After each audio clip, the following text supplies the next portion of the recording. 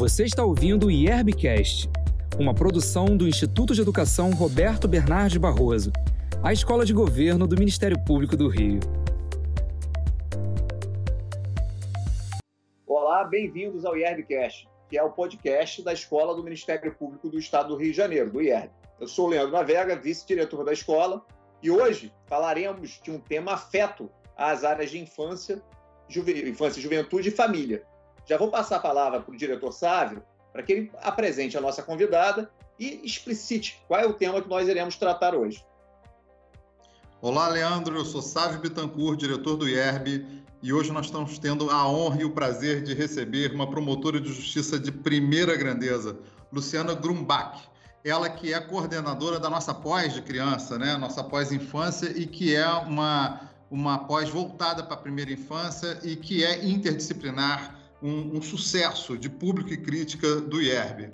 Luciana, muito bem-vinda, uma honra recebê-la.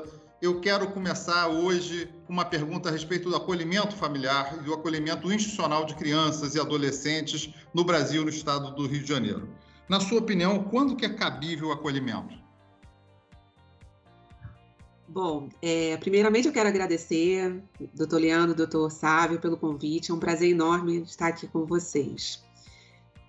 O, é, chegando ao assunto da, da, instituição de acolhimento da, da criança acolhida, a, a, legislação brasileira faz uma proteção enorme à criança e ao adolescente no Brasil.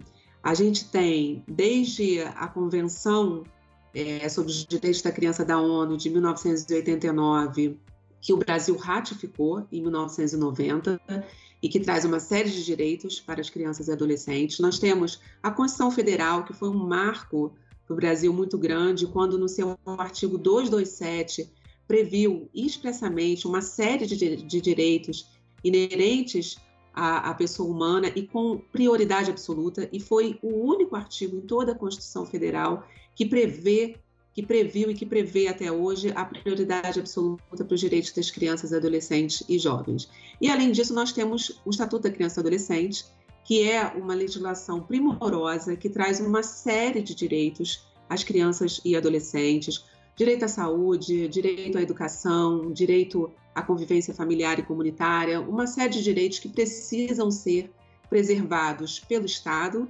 pela sociedade e pelas famílias. É, quando esses direitos eles têm correm o risco de ser violados ou eles já estão sendo violados, o próprio Estatuto da Criança e do Adolescente prevê uma série de medidas protetivas. Ele faz um rol no artigo 101 de medidas que são é, são, é um rol não taxativo, é um rol exemplificativo, mas uma dessas medidas protetivas previstas para a proteção dessas crianças que estão com seus direitos violados em, ou em risco de ser violados é o acolhimento é, institucional, num inciso, e o acolhimento familiar, no outro inciso.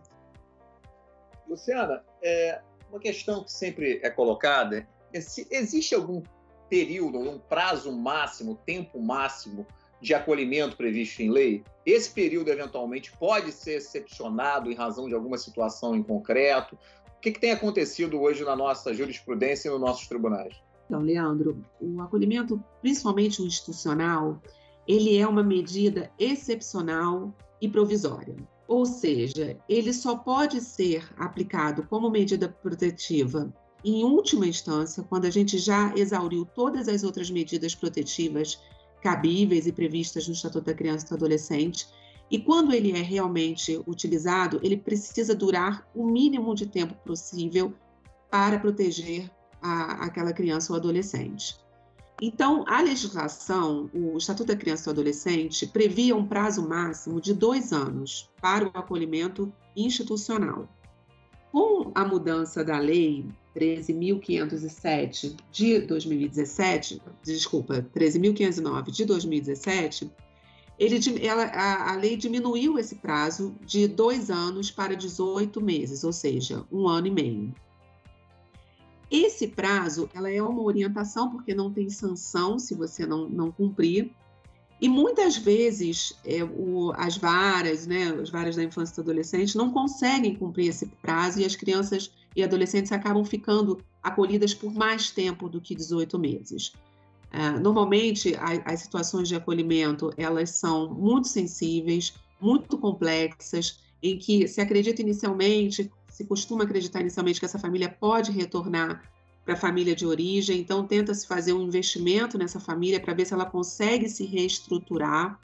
Muitas vezes essa reestruturação não ocorre, seja porque a família não adere, ou seja porque a rede não consegue se, se, se estruturar para ajudar essa família. Então, essa criança, e até a gente entrar com uma medida mais, mais radical, digamos assim, que é a ação de destruição de poder familiar, para que essa criança ou adolescente possam ser encaminhados para adoção, esse tempo, infelizmente, muitas vezes ele dura mais do que 18 meses. Então, com a minha experiência pessoal como promotora de justiça da infância e juventude em São João de Meriti, a gente tem alguns casos em que crianças estão acolhidas há 3, 4 anos. Isso é, digamos assim, uma desgraça, para a vida da, dessa criança ou adolescente que estão acolhidos, porque é uma situação é, que interrompe, o, que, que, prejudica o desenvolvimento dela. Então, é, é algo que, que até o doutor Sávio a gente uma vez conversou e a gente tem que pensar, os operadores do direito que atuam com criança e adolescente, tem que pensar, tem que se incomodar com a situação de uma criança institucionalizada não normalizar isso, não achar que isso é tudo é, tá, tá normal, que eu já ouvi esse tipo de comentário que se a criança, a gente pelo menos a criança agora ela está comendo, ela tem uma higienização, ela está indo à escola, porque ela estava numa situação de, de muita privação e pelo menos agora ela está numa instituição em que ela tem os direitos mínimos assegurados. Eu já ouvi isso de, de equipe técnica e, e isso eu confesso que me assusta porque a gente não pode achar que uma criança em situação de vulnerabilidade ela merece menos e que por isso um acolhimento pode ser o suficiente para ela. Nunca é. Toda criança, todo adolescente que, que estão, é, que, que nascem ou crescem no Brasil merece ter todos os seus direitos, todos os direitos inerentes ao desenvolvimento humano, assegurados pelo Estado, pela família e pela sociedade. Então, não é normal, não, a gente não pode achar que é uma situação é, de normalidade uma criança acolhida. Prazo máximo é de 18 meses e a gente tem que se incomodar, o operador de direito tem que se sentir incomodado para poder é, fazer com que esse prazo seja respeitado, sendo que eu entendo pessoalmente que já é um prazo muito longo. Luciana, nós estamos falando, o que está subjacente à nossa discussão é o direito à família, de viver num lugar harmonioso, num lugar onde a criança receba carinho. Sabemos que é na primeira infância que se formam todos os soft skills e as qualidades de equilíbrio emocional que vão ser importantes para ela durante a vida toda. Você acha que nós, inclusive nós, Ministério Público, além do sistema de justiça, nós erramos muito a favor do adulto e contra a criança?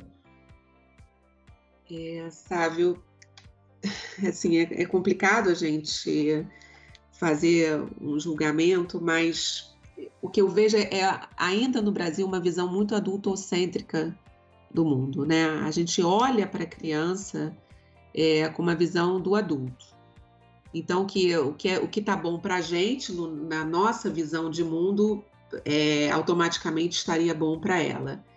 E muitas vezes a gente tentando é, resgatar vínculos familiares, ou uma mãe que promete muitas vezes que vai se reestruturar, como eu já ouvi isso algumas vezes na minha prática. É, e aí a gente fica esperando, esperando, esperando. E o que eu acho e que eu sempre lembro é, quando eu faço audiência sobre adolescente ou criança acolhida, com a equipe técnica e com, e com os demais operadores do direito, eu sempre falo a mesma coisa: o tempo da criança não é o tempo do adulto. É, primeiro, porque ela está acolhida, então é muito fácil falar que ela que ela está há pouco tempo quando a gente está fora vivendo uma vida normal, digamos assim. E segundo, que a criança está se desenvolvendo, ela, ela, ela está num processo de, de, de desenvolvimento. Então, a cada dia que ela passa acolhida, é um dia menos que ela tem de possibilidade de desenvolver todo o seu potencial. Então, é quase desumano a gente é, normalizar essa situação e ficar esperando muitas vezes o, o adulto, né, ou os adultos da, da situação, da, da família, se reestruturarem. É claro que a gente não vai, não estou falando aqui nem defendendo tirar criança, sair tirando criança de família pobre e desestruturada, até porque a pobreza por si só, ela não constitui uma, uma situação que autoriza o acolhimento institucional. Na verdade, são coisas muito mais graves, né, que a gente vê. Então, é, é muito, é, é, é sensível, é complexo, é, a gente entende que às vezes tem uma família também que está vulnerável, que precisa de um apoio, de um apoio da rede de atendimento para se reestruturar, mas o que a gente tem que pensar é que tem uma criança do outro lado que está aguardando numa instituição de acolhimento. E isso para ela pode ser extremamente prejudicial para o seu desenvolvimento.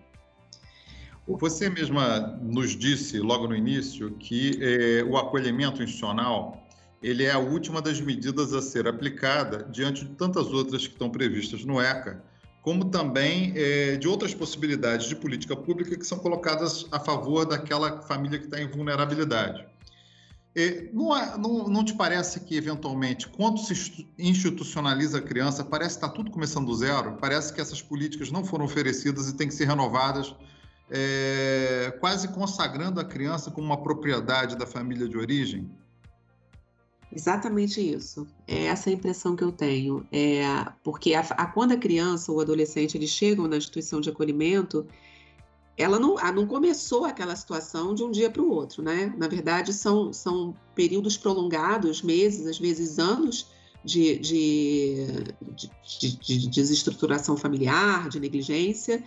E aí a criança é acolhida e fala assim: não, então agora vamos cuidar da criança, vamos cuidar da família. E isso pode passar períodos longuíssimos, né? E eu já ouvi também, sabe, o que, o que isso me choca, assim, impressionante. Eu já ouvi de equipe técnica de vara falando assim: vamos acolher essa criança para cuidar dela. Aí lá no abrigo ela vai poder ter acesso a tratamentos médicos, a tratamentos terapêuticos, e aí depois, se tiver tudo bem, a gente pode retornar essa criança com a família.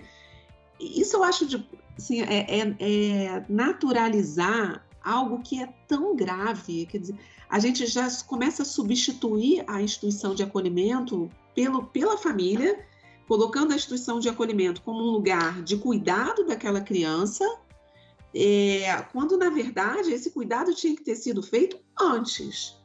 Né? Então, é, se a, a gente não tem uma rede muito bem estruturada, a rede de atendimento do sistema de garantias de direitos, é, muito bem integrada e reestruturada para apoiar aquela família, quando essa criança ou adolescente chegam numa instituição de acolhimento, não pode continuar fazendo a mesma coisa ou, como você disse, partindo do zero e começar a tentar. Porque existe uma, uma situação muito grave já acontecendo, que é uma criança acolhida. Então, é, voltando àquilo que eu falei, a gente não pode naturalizar e esperar é, indefinidamente que uma família se reestruture. Claro que há situações e situações, é, e muitas realmente é uma vulnerabilidade muito mais econômica, e às vezes com algumas medidas a gente consegue que aquela família se reestruture, às vezes tem acesso aos benefícios, né, como Bolsa Família, agora esse renda mínima, e aí essa família consegue se reestruturar para conseguir receber aquela criança. Mas há situações muito graves em que não dá, não é possível uma reestruturação familiar. Às vezes de uma negligência muito grande, às vezes de abuso sexual. E essa criança ela não pode ficar aguardando por isso. Ela, ela merece e tem direito a uma família amorosa, uma família afetiva e que realmente a proteja.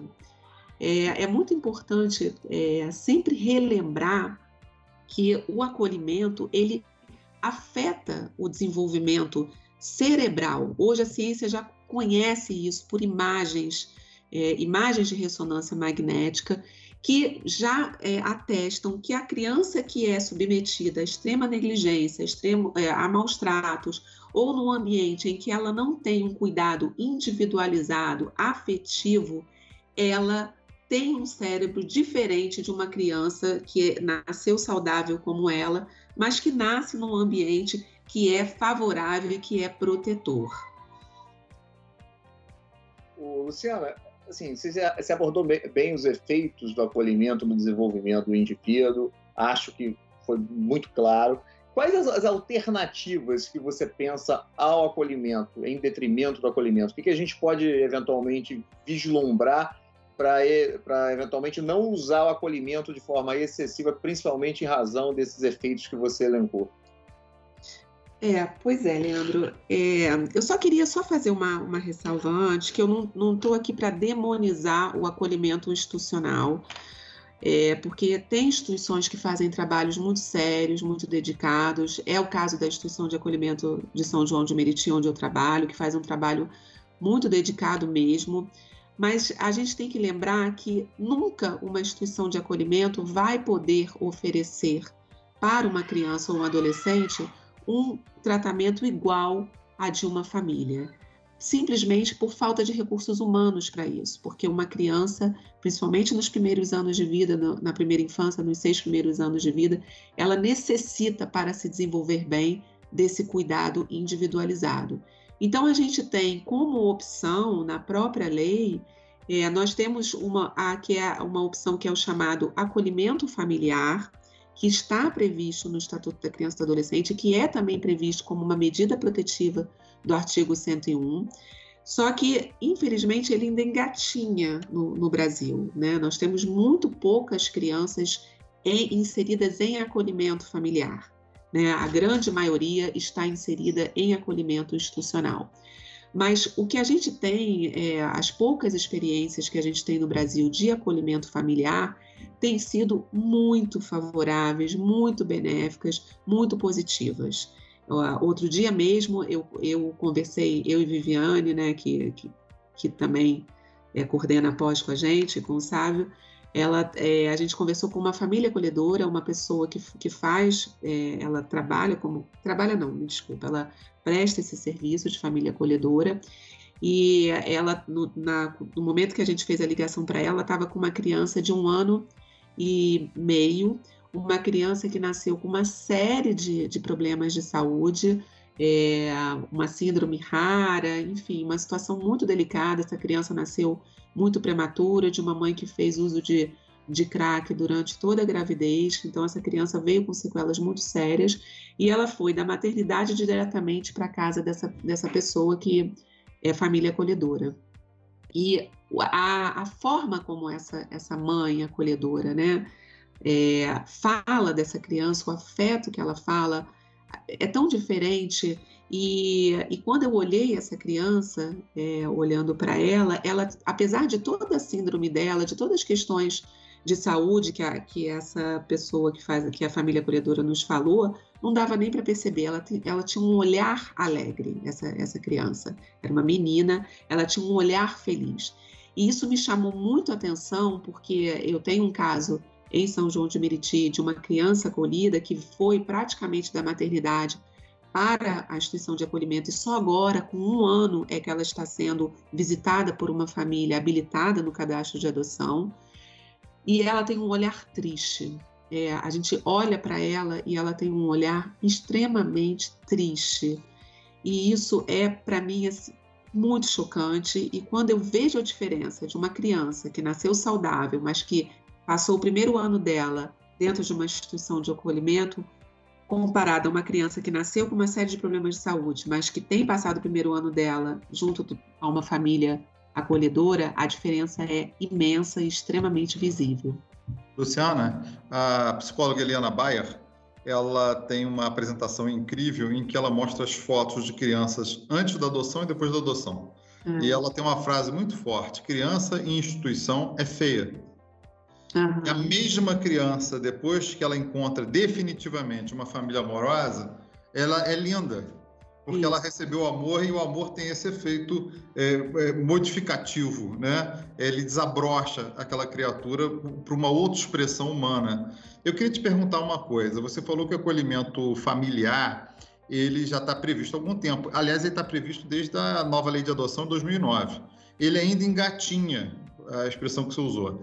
É, qual o papel do Ministério Público no enforcement da, da, da, dessa política pública? Do apadrinhamento, do perdão, do, do acolhimento é, familiar ser uma política pública é, uniforme e, e universal? Pois é, sabe, você sabe que quando eu cheguei em São João de Meriti, em 2014, tinha uma ação civil pública proposta pelo MP contra o município para obrigar o município a, a, a criar o programa Família Acolhedora. Quando eu peguei o processo, esse processo já estava grande, tinha uma, tinha uma liminar deferindo é, essa obrigatoriedade do município estabelecer, criar o Família Acolhedora, e nada acontecia, nada acontecia. O município não cumpria e não, não passava disso. E aí eu comecei a me sentir extremamente incomodada com isso, é, pedi a designação de algumas audiências especiais, e aí era para mim muito triste verificar que eh, tanto a, os representantes do CMDCA como da prefeitura sequer sabiam o que era acolhimento familiar. Então, eh, eu vi no momento que eu falei assim: eu não consigo fazer mais nada por aqui, pela ação judicial. E aí, o que, que eu fiz? Eu comecei é, a, a estabelecer tratativas e conversas diretamente com o CMDCA, explicando para eles a importância da, de, dessa medida, desse serviço de acolhimento familiar, é, que é, é mais barato do que o acolhimento institucional e que há uma obrigatoriedade em lei e que o Estatuto da Criança e Adolescente estabelece que o CMDCA ele tem que estabelecer dentro do seu plano de ação medidas é, que façam que o município que, que, que incentivem a, a, o acolhimento, a, a, guarda em acolhimento, né? a guarda em acolhimento familiar. Está previsto isso no Estatuto da Criança e do Adolescente, e o, o CMDCA sequer sabia disso. Então, todo ano, o CMDCA tem que fazer o seu plano de ação e o seu plano de aplicação. Esse, esses planos eles vão é, ter que ser inseridos na lei orçamentária anual e o município, o gestor municipal, ele é obrigado a cumprir essas políticas que foram é, previstas pelo CMDCA, né? Então, é, existe, na minha opinião, um caminho um pouco mais fácil que a medida que a medida judicial, que o ajuizamento de ação civil pública. É claro que às vezes a gente tenta tudo, não consegue e a gente acaba tendo que, que propor uma ação. Mas eu acho que antes disso, o promotor, cada promotor que tem atribuição para tutela coletiva da infância, pode verificar, instaurar um procedimento dentro da sua promotoria, um procedimento administrativo ou inquérito civil, dependendo da maneira como ele vai redigir esse procedimento, verificar se o município de sua atuação tem a, o serviço de família acolhedora e, caso não o tenha, comece a fazer esse trabalho de conscientização do CMDCA, da Secretaria Municipal de Assistência Social, sobre a obrigatoriedade na lei da, de, dessa previsão e da importância de, desse tipo de serviço para o desenvolvimento infantil e mostra custos. Eu estava conversando outro dia com o secretário municipal de assistência social de São João de Meriti, explicando para ele justamente isso. Ele coloca, por exemplo, um valor altíssimo de 37 mil reais para uma instituição de acolhimento de adolescente que hoje conta com duas adolescentes e zero zero reais para a família acolhedora a família acolhedora ela precisa de muito menos investimento financeiro, né? Porque você normalmente tem a previsão de um, de um valor que você paga para a família acolhedora, que é uma ajuda de custo para ela ficar com aquela criança, e a capacitação, claramente, da, da, equipe do CREAS, que vai capacitar essas famílias acolhedoras, porque essa capacitação ela tem que ser constante, né? Então, mas isso sai, sai mais barato, isso está demonstrado já, que sai mais barato do que você só ter no seu, no seu município serviço de acolhimento institucional. Então, eu acho que o promotor tem muito, ele tem, ele tem muito instrumento na mão para conseguir assegurar essas políticas públicas. Luciana, muito obrigado pela participação. Acho que abordamos de forma completa um tema tão instigante. Agradeço a todos os ouvintes e lembro a eles que nós estamos em algumas plataformas, como Spotify, YouTube, site do IERB e outras plataformas que, que, que existem. É, lembro a todos que, se desejarem fazer sugestões ou alguma crítica ou, ou indicar algum tema, podem fazer pelo site do IERB, encaminhando um e-mail para a nossa, para a nossa escola. Agradeço a todos, um grande abraço. Você ouviu um episódio do IERBcast, o podcast do Instituto de Educação Roberto Bernardi Barroso, a escola de governo do Ministério Público do Rio.